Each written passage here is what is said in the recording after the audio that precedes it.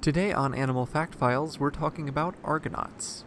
These animals have another common name, but it causes some confusion. Argonauts are also known as paper nautiluses, but they aren't related to nautiluses we've discussed in a previous episode. They're actually octopuses, and they don't all have a shell.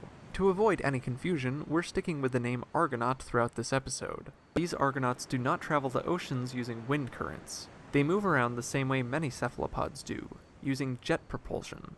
Argonauts display sexual dimorphism because the ladies are much, much larger than the males. Male Argonauts barely reach more than a centimeter in length, while female Argonauts may be more than five times longer. Plus, males don't grow shells.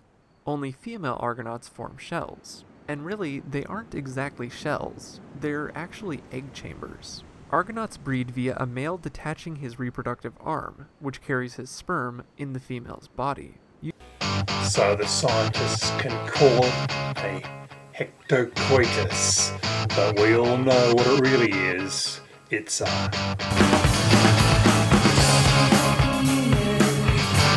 Yes, that's what it is. They could call it a heterocoitus, but it's a